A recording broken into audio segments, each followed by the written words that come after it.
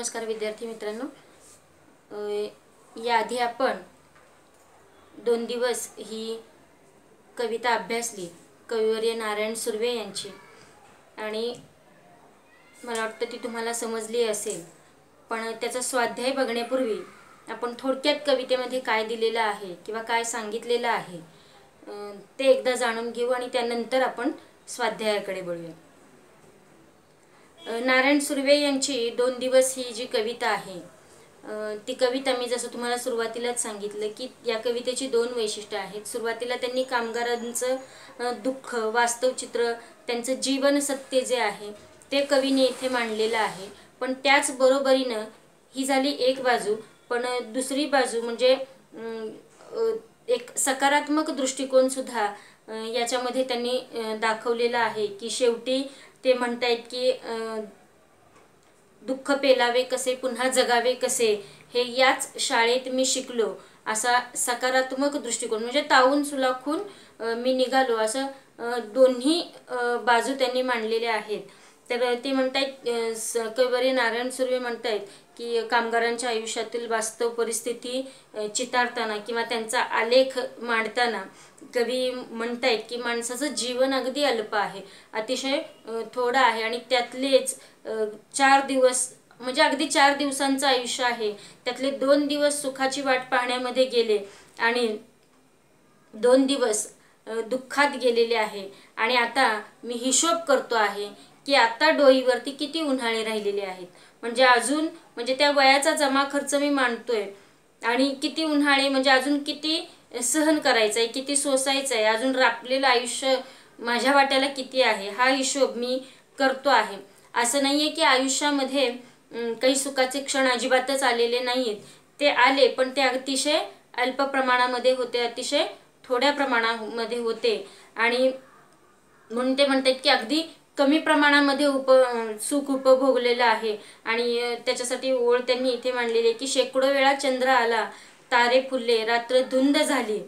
पण पुढे जाऊन ते म्हणतायत की पण बाकी सगळं आयुष्य जे आहे ते भाकरीचा चंद्र शोधण्यातच सगळं आयुष्य बर्बाद झालेलं आहे. स सगळं आयुष्य नासून गेलेलं आहे. पुढे ते म्हणतायत की हे जे हात आहे या हातांनी हे आपले हात म्हणजे कर्तृत्वाचं प्रतीक आहे हे कर्तृत्व आहे हेच सगळं सर्वस्व आहे. आपण सगळी कामं हातांनी करतो. आणि हे हातच माझे मी दारिद्र्याकडे काय केलेले आहे? गहाण ठेवलेले आहे किंवा गहाण ते राहिलेले आहे? कशामुळे? तर गरिबीमुळे दैन्यामुळे माझं कर्तृत्व म्हणजे माझ्यामध्ये जे काही आहे ते दाखवण्याची कधी संधी मला मिळाली नाही. कशामुळे? तर ती या गरिबीमुळे ते माझं कर्तृत्व पिचून गेलं. तर कधी असंही झालं की माझे हात मी आभाळ कवेमध्ये घेण्यासाठी हात उंचावले सुद्धा.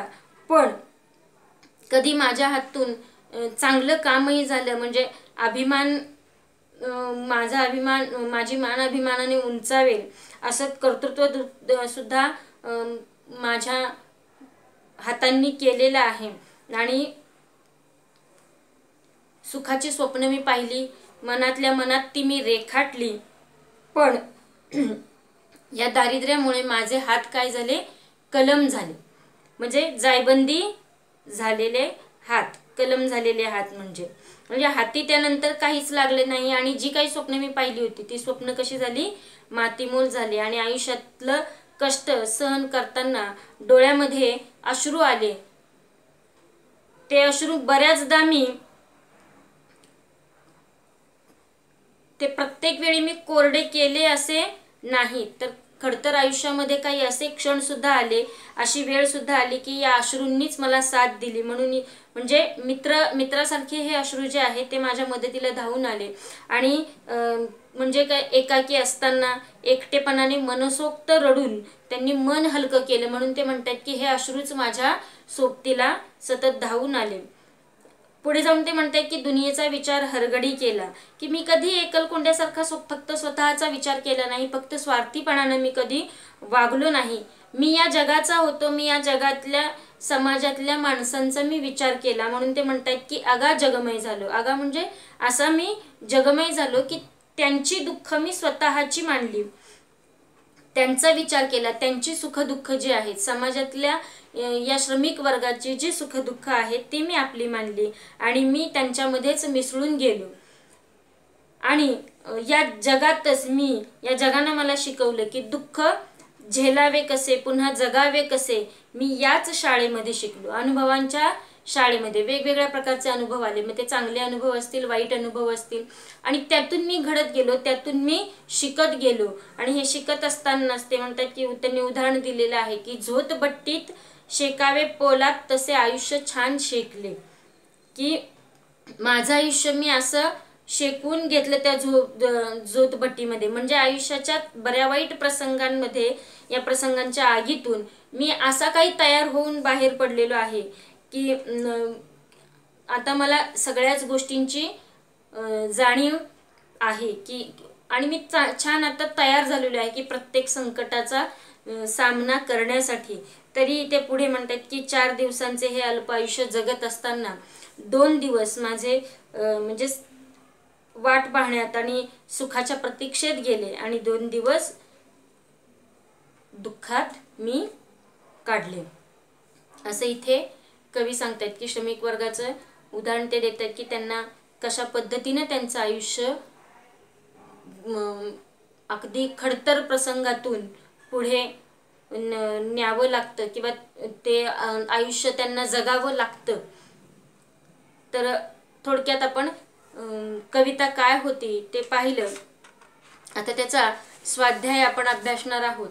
स्वाध्यायामध्ये प्रश्न पहिला आहे बघा.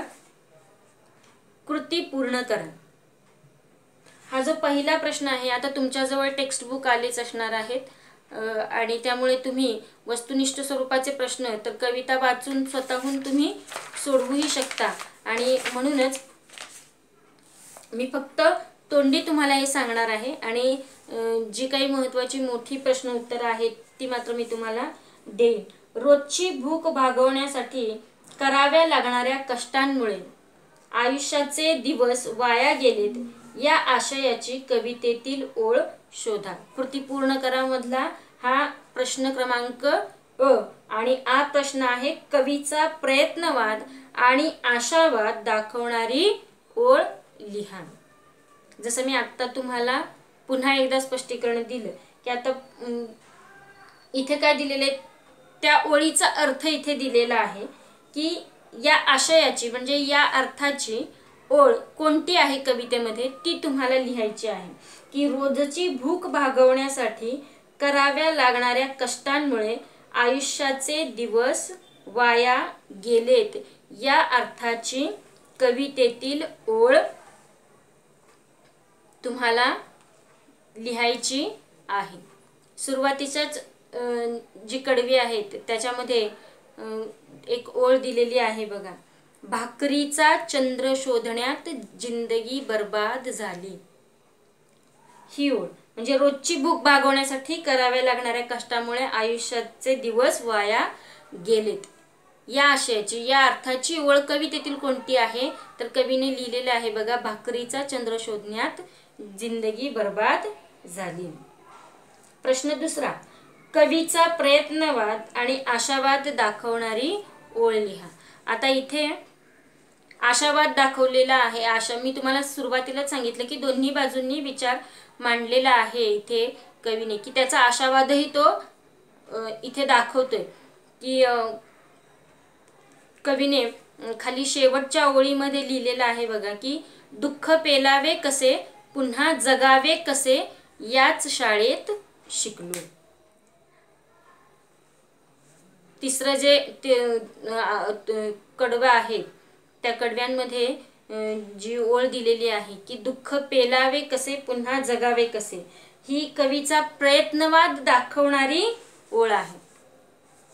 ती ओळ तुम्हाला इथे लिहायची आहे. प्रश्न क्रमांक दोन. एका शब्दात उत्तर लिहा. आता इथे एका शब्दातच फक्त उत्तर लिहायचं आहे की कवीचे सर्वस्व असलेली गोष्ट. कवितेमध्ये दिलेलं आहे आणि आत्ताच मी तुम्हाला ते स्पष्ट सुद्धा केलेलं आहे. कवीचे सर्वस्व सर्वस्व असलेली गोष्ट कोणती? तर या रक्याण्यामध्ये कोणती गोष्ट येईल बरं ती? हे हात माझे सर्वस्व. असं कवीने लिहिलेलं आहे बघा. काय सर मग म्हणजे कवीचं सर्वस्व काय आहे? तर त्याचे हात. इथे शब्द काय येणार? हात. कवीचा जवळचा मित्र. तेही कवितेमध्ये आहे. सगळं आपल्याला कवितेमध्येच दिलेलं असतं बघा. पण फक्त आपण कविता नीट वाचली त्याचा आशय नीट समजून घेतला की ही सगळी प्रश्न उत्तर आपल्याला लिहिता येतात. तुम्ही ती पुन्हा परत वाचावी आणि प्रश्न उत्तरं लिहावीत अशी अपेक्षा आहे. आता कवीचा जवळचा मित्र कोण? तर कवीने एक ओळ लिहिलेली आहे बघा. अश्रूच मित्र होऊन सहाय्यास धावून आले. मित्र कोण जवळचा अश्रू. इथे काय येणार उत्तर? अश्रू. आता प्रश्न तिसरा जो आहे खालील शब्दसमूहांचा तुम्हाला कळलेला अर्थ लिहा. माना उंचावलेले हात कलम केलेले हात दारिद्र्याकडे गहाण पडलेले हात. आता मी तुम्हाला ते स्पष्ट केलेलं आहे की माना उंचावलेले हात म्हणजे काय? तर म्हणजे कार्य करण्याचे कर्तृत्व होय. आणि ते जरी दारिद्र्याकडे गहाण पडलेले असले तरी याच हातांनी कधी कधी अभिमानानं मान उंच व्हावी असे कामही केलेले आहे. हे काय झालं? माना उंचावलेले हात. या प्रश्नांची उत्तरं. तुम्हाला हवं असेल तर मी तुम्हाला लिहूनही देते. कलम केलेले हात. कलम केलेले हात मी तुम्हाला स्पष्ट केले की जायबंदी केलेले हात. कशामुळे जायबंदी झाले होते? तर दारिद्र्यामुळे हे हात काय झाले होते? कलम झालेले होते. या हातांनी कष्ट उपसले आणि कधी ते दारिद्र्यामध्ये राहिले तर कधी या हातांनी अभिमानानं कधी ते अभिमानानं उंचावले सुद्धा तर कधी अशी वेळ आली की परिस्थितीमुळे ते हात जायबंदीही झाले. कलम झालेले म्हणजे बळजबरीनं बांधले गेलेले हात बांधलेले हात. तर तसे ते कलम केलेले हात. आता दारिद्र्याकडे गहाण पडलेले हात. तर बघा कामगारांच्या कष्टमय जीवनाचा हा जो उल्लेख यांनी कवितेमध्ये केलेला आहे तो शब्दबद्ध करताना कवी इथं काय येईल की कष्टकऱ्यांचे हात हे काय आहेत हे त्यांचं सर्वस्व आहे त्यांच्या कर त्यांचं ते कर्तृत्व आहे. आणि म्हणून कवी म्हणतायत की कष्टकऱ्यांचे हात हेच त्यांचे सर्वस्व असते आणि हातांनी ते कष्ट उपसतात त्यांचा उदरनिर्वाह ते करतात. पण तेवढ्याने पोट भरत नाही कारण दैन दारिद्र्यामध्ये ते खितपत पडलेले असतात आणि त्यांना उद्याच्या पोटाची काळजी उद्याच्या पोट भरण्याची काळजी असते. आणि हे दुःख व्यक्त करताना कवी म्हणतायत की जणू कामगाराचे हात दारिद्र्याकडे गहाण पडलेले आहेत. तारण म्हणून ते ठेवलेले आहेत. असा त्याचा अर्थ. ठीक आहे? मग खालील शब्दसमूहांचा तुम्हाला कळलेला अर्थ तुम्ही लिहू शकाल? प्रयत्न करून बघा. कविता वाचून तुम्हाला कारण ते तुमच्या शब्दांमध्ये येणं सुद्धा तितकंच गरजेचं आहे. तुम्ही थोडेफार प्रयत्न करून बघा. जसं तुम्हाला जमेल तसं तुम्ही लिहा पण लिहिण्याचा प्रयत्न करा. कारण प्रत्येक गोष्ट ओळ ना ओळ जर मी तुम्हाला लिहून देत गेले तर तुम्ही ते लिहिणार नाही आणि फक्त पाठ करायचं वाच दिलेलं आहे ते लिहायचं आणि पाठ करायचं. एवढाच फक्त भाग तुमच्याकडून होत राहील. पण आपल्याला काय समजले त्याच्यातून? त्या शब्दसमूहांचा अर्थ आता मी तुम्हाला स्पष्ट केलेलाच आहे. त्या पद्धतीनं तुम्हाला जसं जमेल तसं तुम्ही म्हणत असाल की कशी आम्ही भाषा वापरू. पण ठीक आहे असू दे पण प्रयत्न करा. नाहीच काय झालं तर आपण नंतर बघू तो भाग. पण आत्ता सध्याला या तीनही शब्दसमूहांचा अर्थ मात्र तुम्हाला लिहायचा आहे. तो होमवर्क म्हणून तुम्हाला करायचा आहे.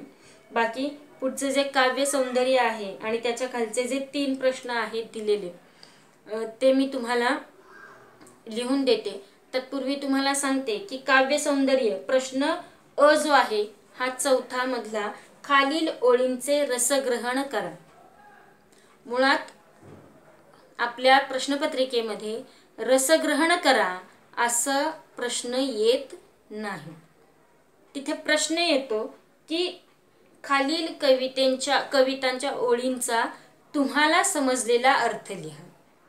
आता तिथेही तुम्हाला या रसग्रहणाचा थोडाफार का होईना पण उपयोग होऊ शकतो. म्हणून ते मी तुम्हाला लिहून देणार आहे की रसग्रहणामध्ये ब तीन गोष्टी महत्त्वाच्या असतात. की तिथे आशय सौंदर्य महत्त्वाचं असतं काव्य सौंदर्य महत्त्वाचं असतं आणि भाषिक वैशिष्ट्य महत्त्वाचं असतं. याही आधी मला वाटतं मी संतवाणीचं काव्यसौंदर्य किंवा रसग्रहण करा हे मी तुम्हाला लिहून दिलेलं आहे. का लिहून दिलेलं आहे? तर त्याच्या अनुषंगाने तुम्ही त्या ओळींचा अर्थ लिहू शकाल.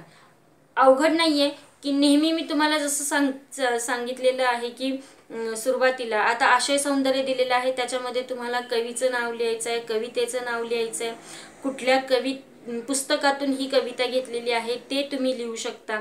आणि थोडक्यात प्रस्तावना जशी तुम्ही लिहिता की नाही सुरुवातीला मी पाठाच्या आधी जी सुरुवात लेखक परिचय झाल्यानंतर कवी त्या पाठाची मध्यवर्ती कल्पना किंवा त्या पाठाचा आशय जो थोडक्यात वरती दिलेला असतो ना तो तुम्ही त्याच्यामध्ये मांडायचा आहे.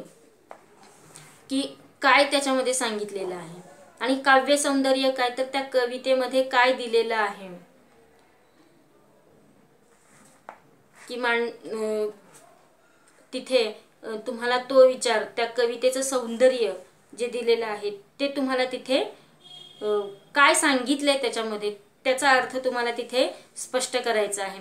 आणि भाषिक वैशिष्ट्यांमध्ये तुम्हाला ती ती जी भा वापरलेली भाषा आहे की ती कशी सोपी भाषा वापरलेली असून सुद्धा ती किती प्रत्येकारिक रीतीने ती मांडली गेलेली आहे.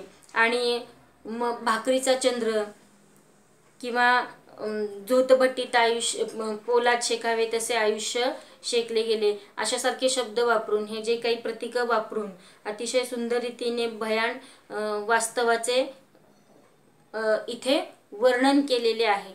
तर हे भाषिक वैशिष्ट्यांमध्ये भाषा कशी वापरलेली आहे? काय काय त्याच्यामध्ये वापरले गेलेलं आहे? हे भाषिक वैशिष्ट्यांमध्ये येणार आहे. मुळात तुम्हाला असा प्रश्न येत नाही.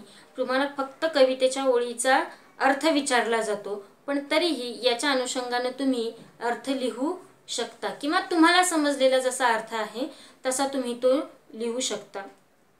तर आता आपण ओळींचं रसग्रहण करा. इथून सुरुवात करूया.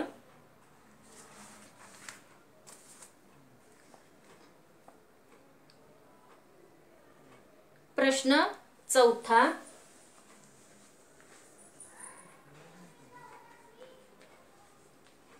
काव्य सौंदर्य.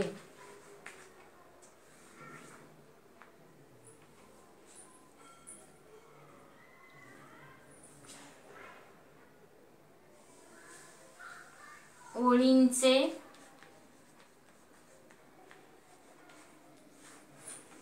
खालील ओळींचे रस ग्रहण करा.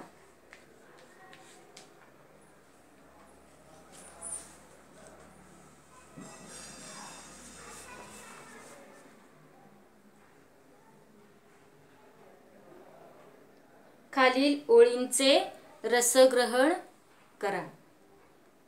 पहिल्याच दोन ओळी आहेत.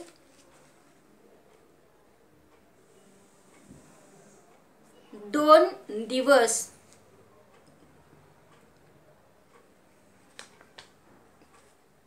दोन दिवस वाट पाहण्यात गेले.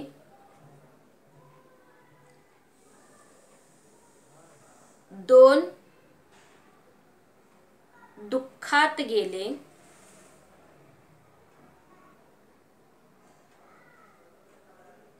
दोन दुःखात गेले. हिशोब करतो आहे. हिशोब करतो आहे. किती राहिलेत? किती राहिलेत. डोईवर उन्हाळे. किती राहिलेत? डोईवर उन्हाळे.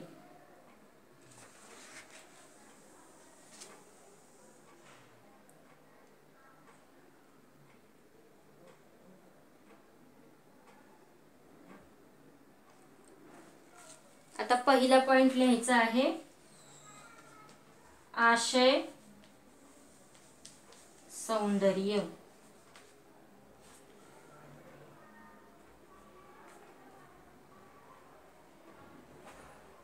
आशय सौंदर्य.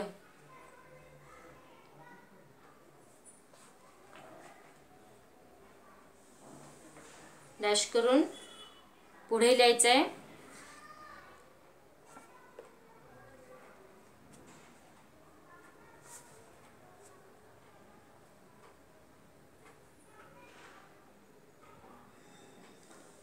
दोन दिवस.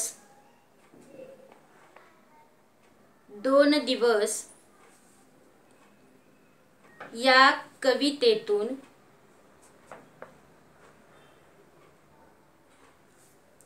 दोन दिवस या कवितेतून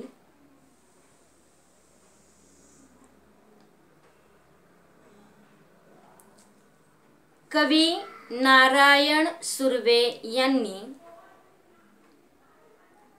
दोन दिवस या कवितेतून कवी नारायण सुर्वे यांनी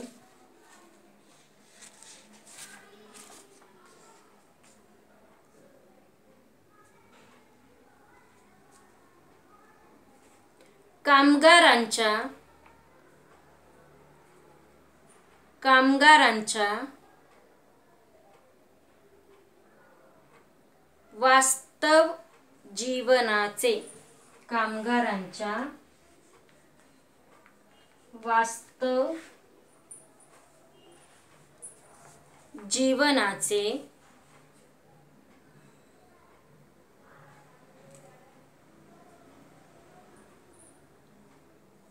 व त्यांच्या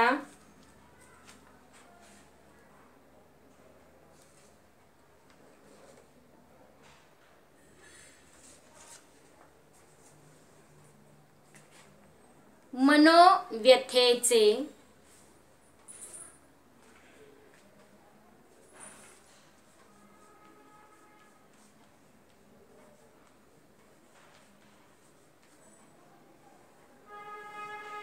मनोव्यथेचे. चित्रण केले आहे. मनोव्यथेचे चित्रण केले आहे.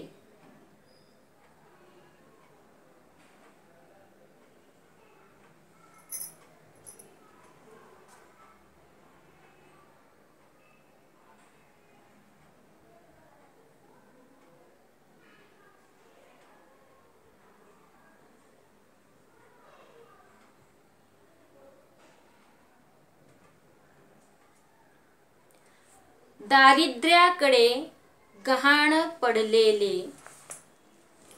दारिद्र्याकडे गहाण पडलेले.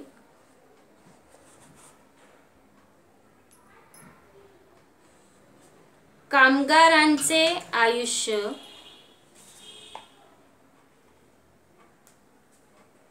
कामगारांचे आयुष्य असले तरी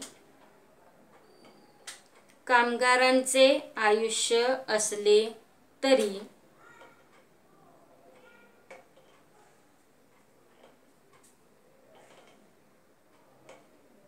प्राप्त परिस्थितीत प्राप्त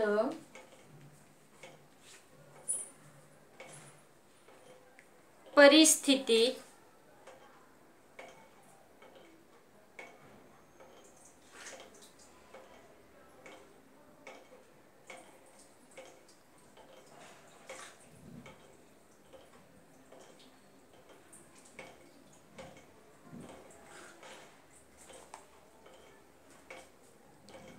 धैर्याने लढत राहण्याची प्राप्त परिस्थितीत धैर्याने लढत राहण्याची जिद्द धैर्याने लढत राहण्याची जिद्द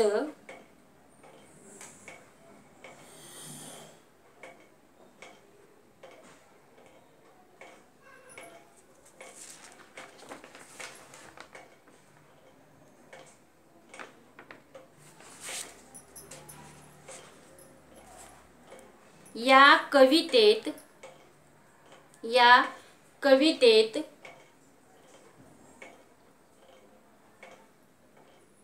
सुर्वे यांनी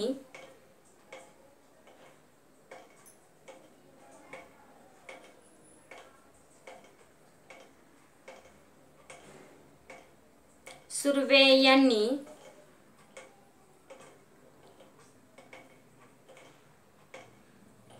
शब्दबद्ध केली आहे.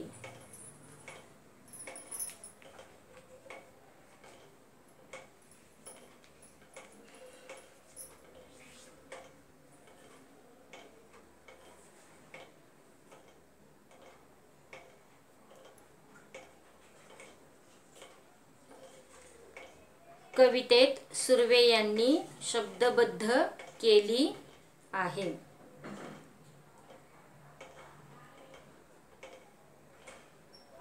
हे झालं आशय सौंदर्य. आता त्याच्या खालच्या ओळीला काव्य सौंदर्य असा शब्द लिहा. लगेचच खालच्या ओळीला काव्य सौंदर्य असा शब्द लिहा.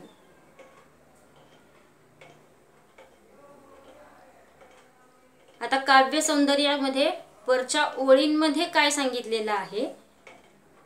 ते लिहायचं आहे.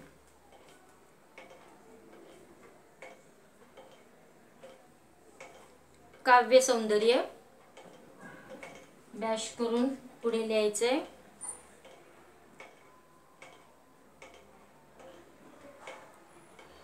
प्रस्तुत ओळींमध्ये प्रस्तुत ओळींमध्ये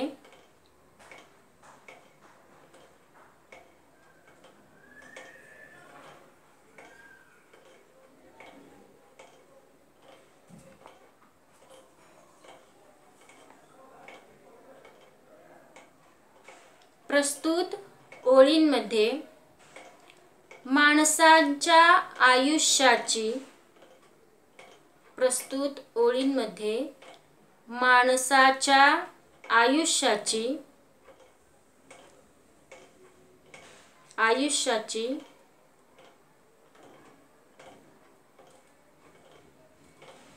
आयुष्याची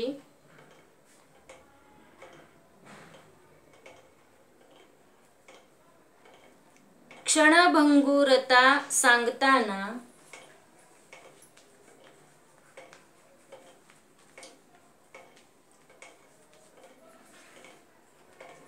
क्षणभंगुरता सांगताना कवी म्हणतात कवी म्हणतात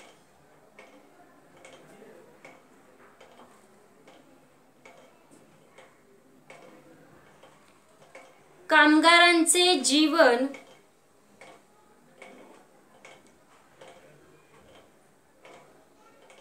कामगारांचे जीवन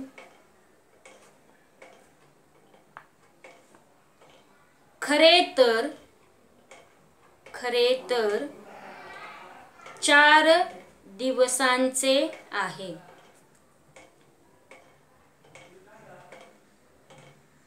प्रस्तुत ओळींमध्ये माणसांच्या आयुष्याची क्षणभंगुरता सांगताना कवी म्हणतात कामगारांचे जीवन खरे तर चार दिवसांचे आहे.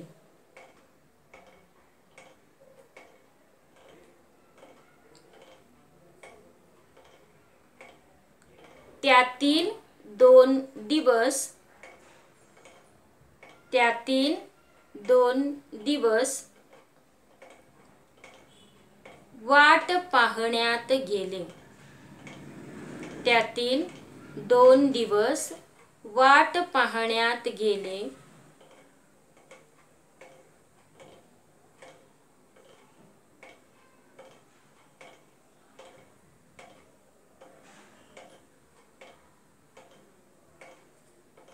त्यातील दोन दिवस सुखाची वाट पाहण्यात गेले तर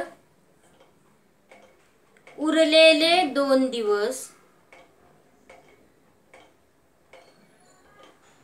उरलेले दोन दिवस पोटा पाण्याची उरलेले दोन दिवस पोटा पाण्याची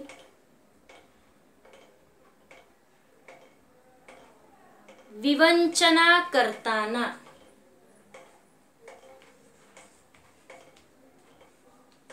विवंचना करताना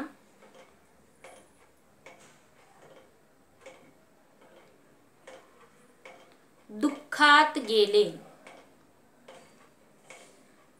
पोटा पाण्याची विवंचना करताना दुःखात गेले.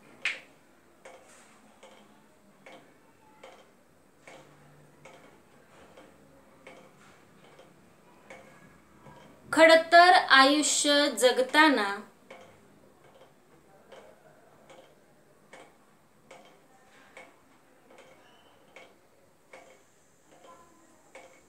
खडतर आयुष्य जगताना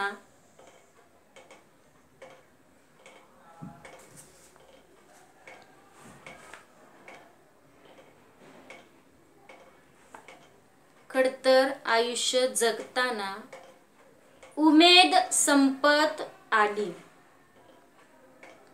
खडतर आयुष्य जगताना उमेद संपत आली.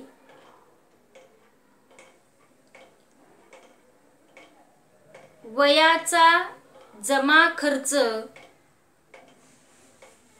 वयाचा जमा खर्च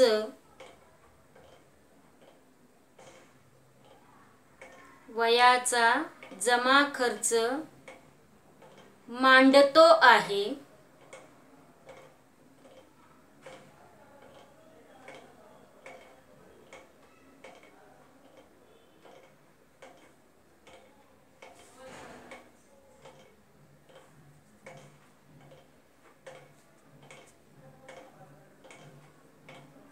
आता किती उन्हाळे उरले? वयाचा जमा खर्च मांडतो आहे. आता किती उन्हाळे उरलेत?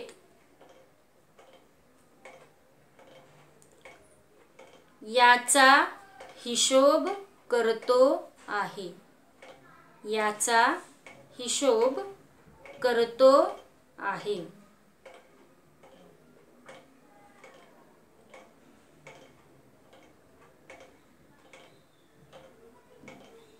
याचा हिशोब करतो आहे.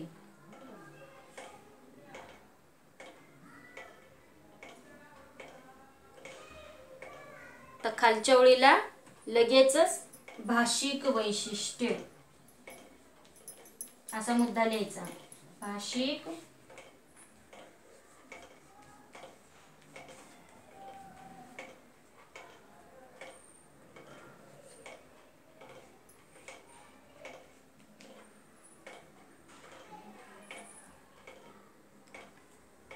डॅश करून पुढे लिहायचंय.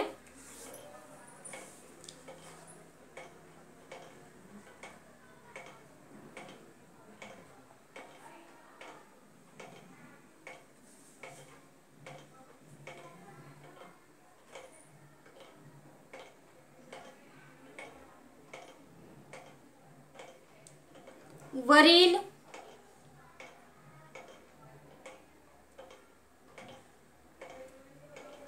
ओळीतील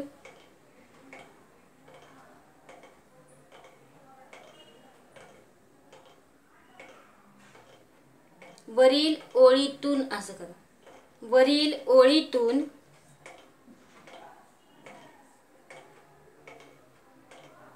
दुःखाचा आवेग वरील ओळीतून दुःखाचा आवेग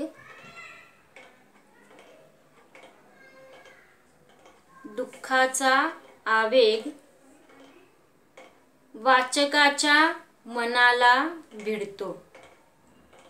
दुःखाचा आवेग वाचकाच्या मनाला भिडतो.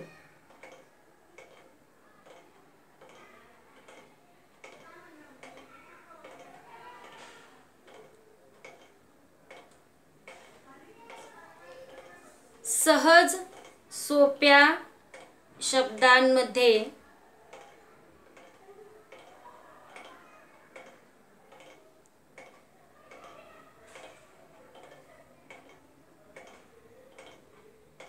सहज सोप्या शब्दांमध्ये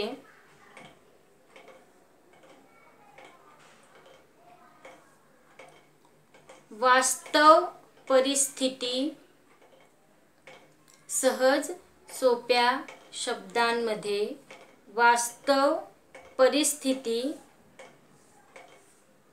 मांडली आहे.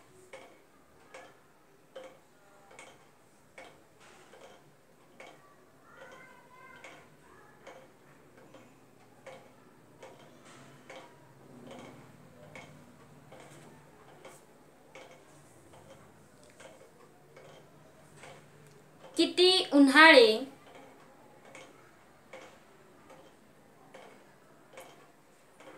सहज सोप्या शब्दातून वास्तव परिस्थिती मांडली आहे. किती उन्हाळे.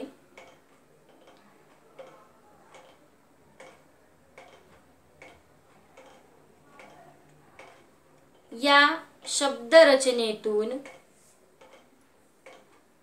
या शब्दरचनेतून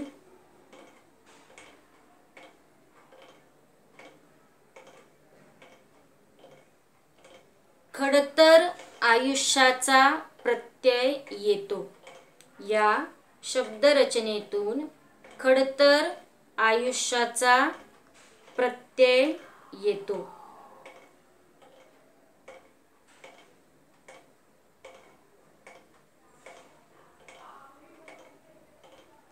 कामगारांच्या जीवनातील कामगारांच्या जीवनातील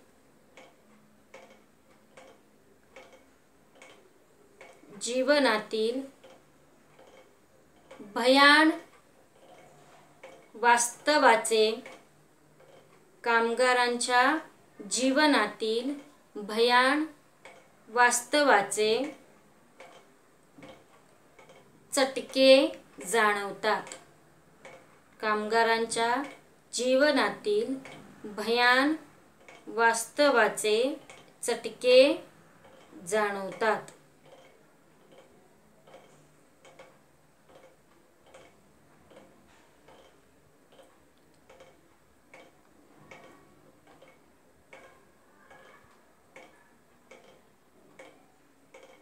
मला वाटतं लिहून झालं असेल. हे ओळींचं रसग्रहण मी आता तुम्हाला सांगितलेलं आहे. याच्यातलेच तुम्ही तुमचे शब्द वापरून तुम्हाला समजलेला अर्थसुद्धा तुम्ही लिहू शकता. अगदीच रसग्रहण मी तुम्हाला सुरुवातीला सांगितलं की रसग्रहण असा प्रश्न येत नाही पण प्रश्न येतो तो काय? की कवितेतील सम कवितेच्या ओळींचा तुम्हाला समजलेला अर्थ तर त्याच्यामध्ये तुम्ही या ज्या गोष्टी ज्या दिलेल्या आहेत त्या जरी मांडल्या तरीही चालतील. अगदी दोन मार्कांचा प्रश्न आहे. पण तिथे कवितेमध्ये काय दिलेलं आहे? कवीचं नाव कवितेचं नाव कोणत्या पुस्तकातून घेतलेली आहे कविता?